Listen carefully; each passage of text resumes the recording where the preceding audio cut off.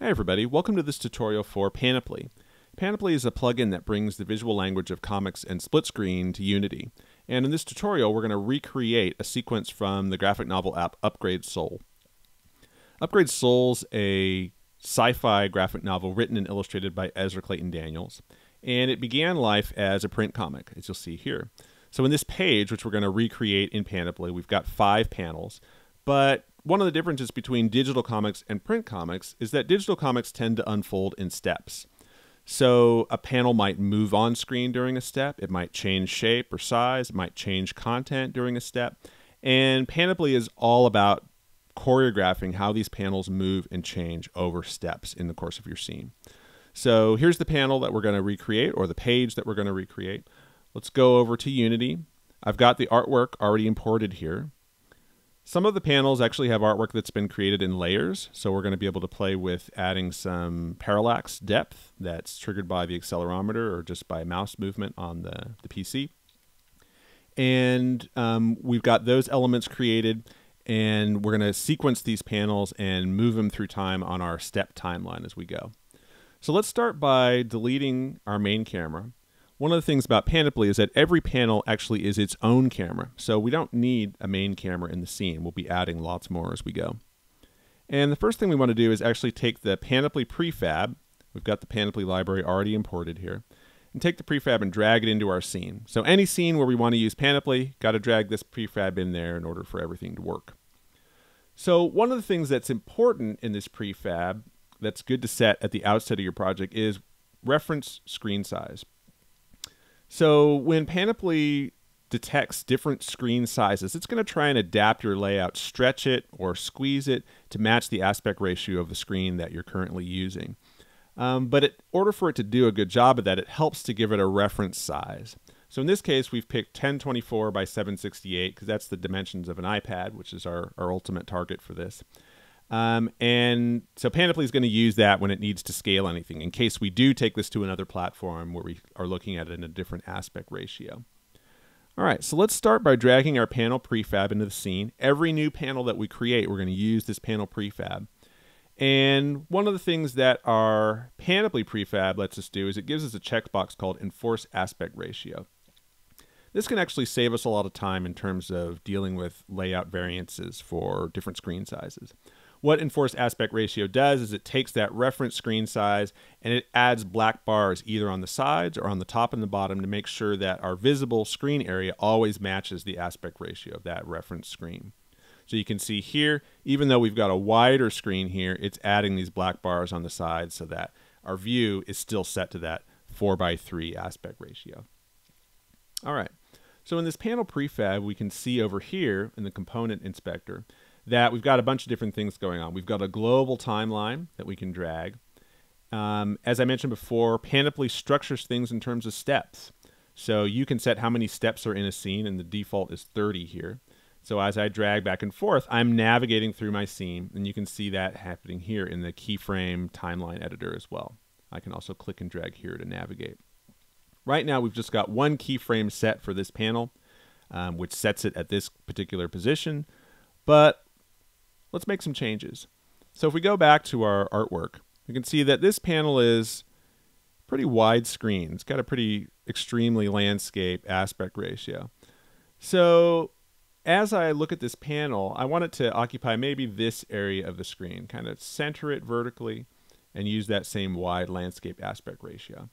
Now this little interface here lets us, by just clicking and dragging, set the position and size of our panel really easily. But it's also based on an underlying grid, this idea of the layout grid. Right now, we've got a grid with two rows and three columns. So this makes it easy to kind of set up a grid and make sure all our panels conform to it. But in this case, I want my panel to appear roughly in this area. So I need to add a few more rows in order to accommodate that. So let's go to four rows. Now if I can click and drag and set a layout for my panel that's very close to what I want. All right, so now that we've got our panel where we want it, let's add our artwork. So we've got the art for this panel, which is not layered, it's just one, one sprite. So we're going to drag that into our scene. Okay, great. So we've got this artwork here, but it's not showing up in our panel. And what we want to do to take care of that is add an artwork component. The artwork component helps Panoply manage how the artwork appears in the scene. And the default positioning type for artwork is panel, which means that it's going to try and position this artwork so that it's in view in a given panel. It needs to know what panel to do that with. So that's why it's got this base panel field here. And if we drag our first panel in there, it's going to automatically move that artwork so that it's in view of that panel.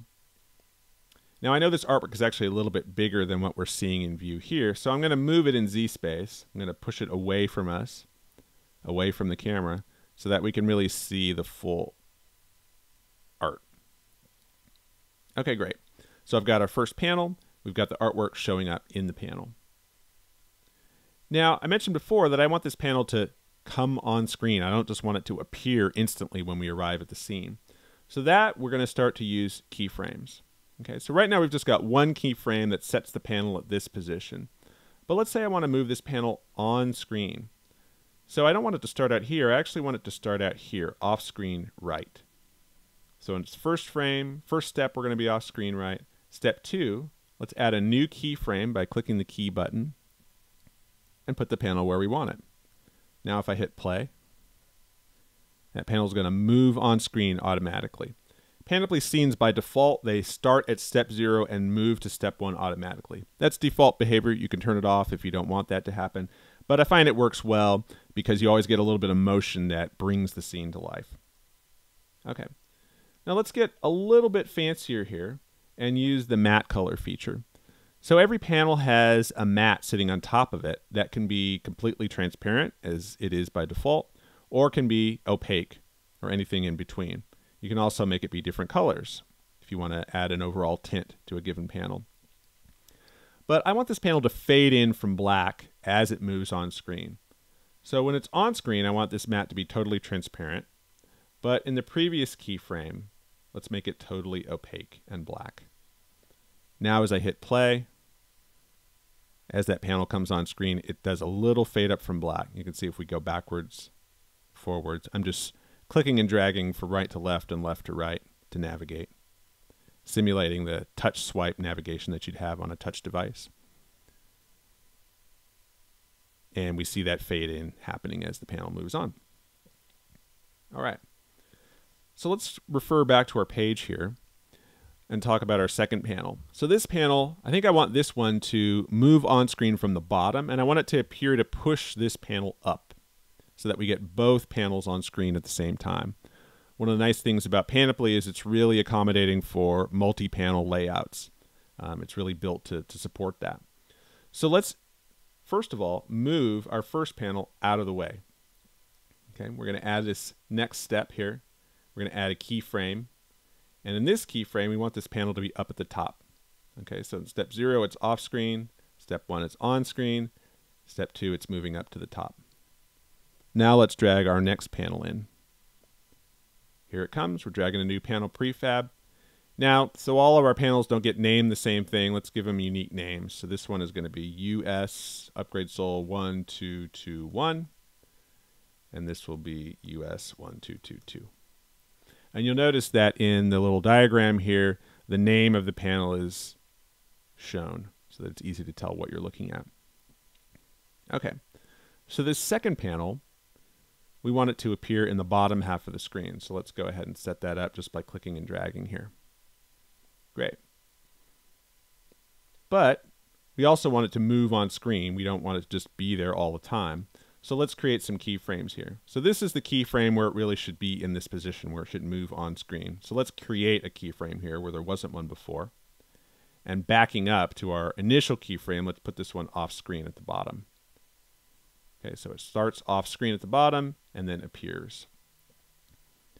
Now let's grab our artwork for this panel. Now this panel actually has two layers in artwork. It has a foreground and a background. So let's bring the background in first. We're going to take that background, we're going to add the artwork component to it. We're going to tell it the panel that it belongs to by dragging that in here. Now we're going to use a feature that's really handy called maintain scale. So if you think about it, if we've got multiple layers of artwork in depth, it's going to be kind of a pain to adjust them because as we push them further away from us in Z space, they're going to get smaller because we're using a perspective camera. So either we got to constantly readjust the scale of the artwork to match the size, the distance it is away from the camera, or we can click this checkbox called Maintain Scale. Maintain Scale maintains the apparent size of the artwork in the panel, no matter how far away it is in Z-space. Okay, and it does that based on a scale factor. So whenever you turn on Maintain Scale, you want to set this scale factor, position your artwork so it just fits within the, the bounds of the frame, and now you'll see as I drag this Z scale, or this Z value, Z position in space, the artwork doesn't actually change size. But if we look in the scene view, you'll see that it's it is changing scale. It's just moving further away from the camera and it's changing scale proportionally so that it appears to be in the same size. So this is really helpful because we can position things in Z space wherever we want without having to adjust their scale manually. All right, so let's go back to the game view. And I'm going to set this back to where its default was, which is at 10 on the z-axis. Let's drag our next piece of artwork here, our next layer, which is the foreground layer. All right, I'm going to add the artwork component here. I'm going to set it to the same panel. And I'm going to copy the scale factor that I used for the background layer to the foreground layer because I want these two to match in terms of scale. Now I can drag this, I can move it forward in Z space. So let's put it maybe at Z8. So it's a little bit in front and we'll get a little bit of parallax. It's a little closer to the camera. And let's adjust its X position because this really is supposed to be over here. So the idea of this layer is it's supposed to give the, the sense that the top of this bar, that's the edge of the bed, and also the top of this cubicle are closer to us than the background layer and we're seeing a little kind of refraction through the, the glass here. All right, so we've got our panel moving on screen. I'm going to similarly, like we did with the first panel, add a little fade in. So it's going to fade in from black as it moves on screen. Let's hit play and see what happens. So we got our first panel showing up. Second panel appears. And look, we've got a nice little bit of parallax here. Look at the bar here. Looks like that's a little closer to us. We got a nice little bit of refraction simulated here on this layer. So every panel comes with a default little bit of parallax motion here. You can adjust how much there is. It can change over time, but the default looks pretty good to me. All right, so let's go back to our print page. Now we've got these two side-by-side -side panels. But even though they're side by side, I want to bring them in one at a time to really kind of stretch out the storytelling. So we're going to bring this panel in first, but I think it might be weird if it just shows up on the left. So I'm actually going to push it in on the right side here, and then when this panel comes in, I'm going to have it push the other one over to the left. So let's go ahead and do that. First of all, I want to make room for these new panels to enter here. So in the subsequent step, in this top panel, it's time to move it off screen. It's had its day in the sun. So we're going to make a new keyframe here. And in that keyframe, we're going to position off screen to the top and we're going to fade it to black. For our next panel, we're going to make a new keyframe and we're going to put it at the top now. All right, so now we're ready to add a new panel. Let's drag our panel prefab in. We're going to name it US1223. And let's position it where we want it to be here. Now we're going to have to adjust our grid a little bit because this really should take up half, or really the lower the lower quarter of the screen. So instead of a two row, three column grid, let's make a two row, two column grid and position it right here in the lower right corner. Great. I'm going to add a keyframe here. And I want this to move in from off screen bottom. So in the previous keyframe, I'm just going to position it down here. So as it moves on screen, it moves into that lower right corner. All right, artwork time. This panel only has one layer of artwork. So we're going to drag it in, add the artwork component, assign the current panel to it so it shows up, and I'm just going to adjust it in Z space so that it appears where we want it to. Make sure that we've got a nice fade in happening as that panel comes on screen and hit play. Panel 1, panel 2, panel 3. Great. All right, so as I mentioned before, our fourth panel, which is this one, I wanted to push this panel over to the side so that we see them both at the same time. So let's go ahead and make room for this new panel by adding another step here. So in this step, all we want to do is take this lower right panel and move it over here. So I just created a keyframe, clicked in this lower left quadrant, and that moved the panel. Time to add our next panel. Drag that panel prefab out, name it US1224, and let's set a similar grid, so two columns and two rows, and put it in the lower right corner where the other one was previously. In the oops, I need to create a keyframe here because this is where I want it to come in. In the previous step, let's have it be off screen right so it appears to be pushing the other panel to the left. Let's grab our artwork. Again, this is a panel that only has one layer of artwork. So we're going to add the artwork component. We're going to assign the panel that it belongs to, scale it in Z-space. Great. Make sure we're doing our nice fade in as it comes on screen. And let's hit play and see what we got.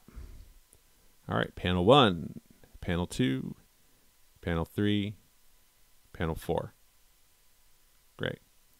Now, one thing you might notice here, and this is a small detail, but it's a little bit of finesse that I like, which is that these two bottom panels are actually parallaxing in the same rate. I mean, there really isn't any parallax, but it's responding to the mouse position. And on a, a mobile device, it's going to respond to the accelerometer. But they're moving by the, exactly the same amount, which is kind of funky. It looks kind of boring.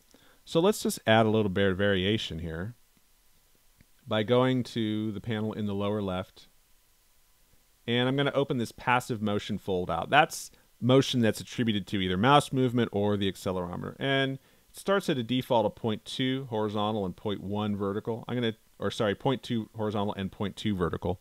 I'm going to set those both to 0.1. So it's just going to reduce the amount of this passive motion that's applied to the panel when we either move the mouse or tilt the device. So let's see what this looks like. Okay, great. So now this panel is moving a little bit more than this panel, and that's got a nice feel to it. Everything doesn't feel so quite locked and, and, and uh, lockstepped with each other. Just adds a nice little bit of variation. All right, now we're time. Now it's time for our bottom panel here, our last panel. Once we add this panel, we're going to go back and add the captions here, and that'll be our last step. So let's set things up. First of all, we need to move our existing panels out of the way to make room for the new one. So let's do some keyframing. First of all, we got to move this top panel off screen entirely because we want this new panel, this new horizontal panel to push everything up. So we're going to take this one, create a new keyframe and move it up to the top. And we're going to fade it to black as it goes. This panel in the lower left, we're going to move it to the upper left. This panel here in the lower right, we're going to move it to the upper right. Now we're ready to drag in our next panel prefab. We're going to call this one US1225. And we want it to appear right here, down here in the bottom. All right, create a keyframe here. We want it to move in from off screen at the bottom.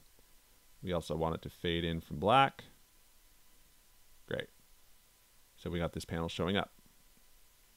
All right, let's add our artwork. Now this is going to be our most complicated set of artwork here. We've got three layers. We've got a background layer, we've got these bars, and we've got the bed. So the background layer, let's drag in first. Add the artwork component to it, assign it a panel. And we're going to use maintain scale again because we got multiple layers and we want to just reduce the amount of adjusting we're going to have to do. So we're going to take this scale factor down to let's say maybe 4.4 4.42 um, and we're going to push this further in z space so let's push this at 20 because this this wall and this door here are really on the other side of the room so we want it to be further away in z space all right so now let's add the bars which is our next layer We're going to add our artwork component. We're going to assign the panel. And we're going to copy the scale factor from before. Ignore that message. Um, and we're going to paste that into our scale factor here as well. So 4.42. These bars need to appear at the top of the frame. So I'm just going to adjust their Y position. So that's about here. That looks about right. And I'll leave them at 10 in Z space. We got our background is at 20. Our bars are at 10. Now let's add our third layer, which is the bed, which is the layer that's closest to us. We're going to assign the panel here, turn on maintain scale. Again, set its scale factor to 4.42. Adjust its Y position correctly so it's in the right spot. And let's put this at 9.5 because it's pretty close to the bars. I mean, it's actually almost touching the bars here. So in Z space, it should be at a, a similarly close location. All right, so let's play and see what we got. Panel 1, Panel 2, Panel 3, Panel 4, Panel 5. Here's our newest panel. All right, so we got our parallax working. We see the bed, we see the bars, we see the, the background wall. But we can actually do better than this because while we've got a nice lateral parallax going on here, really we want this to have a different feel, or I want this to have a different feel. And we can do that by using a different kind of parallax effect so by opening the camera component, every panel has a frame component, a camera component, and a passive motion component. In the camera component, we can actually enable something called look at. And this really gives us a kind of rotational parallax, rotational perspective, as opposed to this lateral panning that we were seeing before. And with the kind of perspective that we're looking at in that panel, it's actually going to look and feel a little better. So I'm going to turn on enable look at. And then you give it a point relative to the camera that you want this camera to be staring at or kind of fix its position on. So as it shifts position, it's going to still continue to look at this point in space. So I'm going to put this about 10, uh, 10 units in Z space away from the camera. And now let's run the scene and see how that changes things. All right. See how this has a different feel down here? Now it actually feels like the camera is rotating. We're getting a kind of a, a rotational perspective as opposed to this lateral perspective that we had before. And that feels really nice for this piece of artwork, this particular perspective we're looking at. It works well. All right, great. So we've got our panels working. We've got them set up. We can go forwards and backwards on the timeline. It's one of the things that Panoply enables is that users can always go forward and back. They're not just restricted to going forward. They don't have to back up through a, a pre-rendered animation. our final step here, we're going to add our captions. So we've got one, two, three, four, five captions to add here. So let's go ahead and do that. So our first caption is in the top panel here. And the way we add captions is we go to the panel itself and we add the caption component. So it gets added to the same game object that the panel is on. All right. So let's go to our first frame here. So you'll see it's added this caption that says hello world, but we want to obviously change it to match the dialogue from our scene. So let me copy that in here.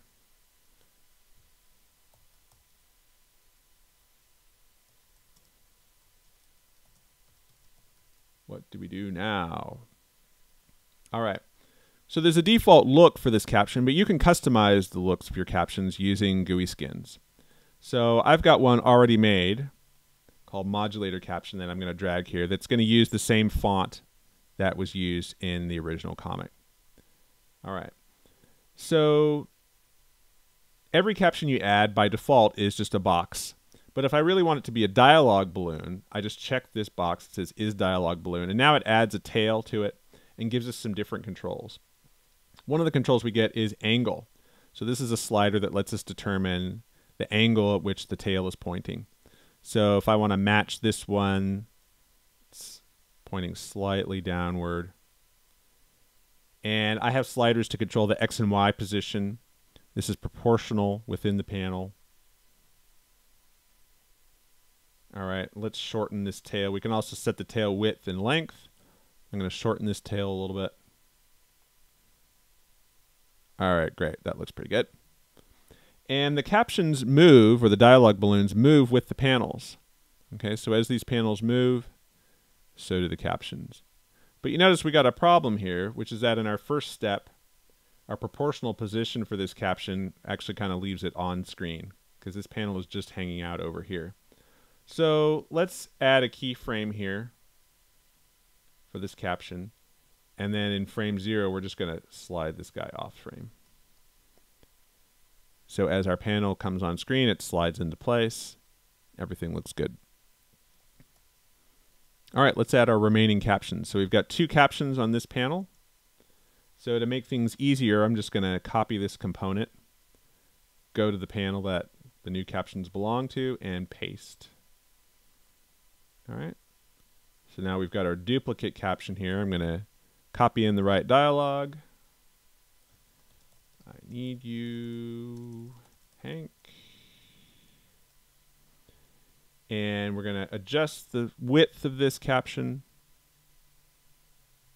Maybe adjust the length of the tail a little bit and position it where it needs to be, which is roughly around here by dragging the X and Y. Yeah, that's pretty close. We're going to angle this up a little bit. There we go. Okay, great. Um, let's paste in another caption. And I'm going to put in the right dialog here. Please wake up.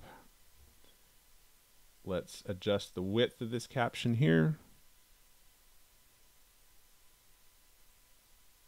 That looks pretty good. Set the right angle. Let's shorten that tail a little bit. And then position it.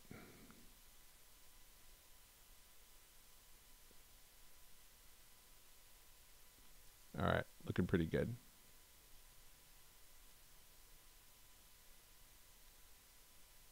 Okay, cool. Let's run play. And you can see these captions coming in, moving along with the panels as they go. All right. Two more captions on this last panel here. So let's jump to the third panel and let's paste in our copied caption component. Here it is. Let's get the right dialog in there. So I don't want to be alone in this place.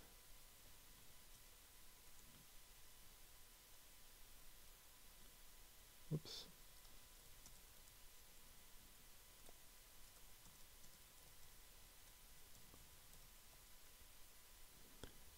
All right.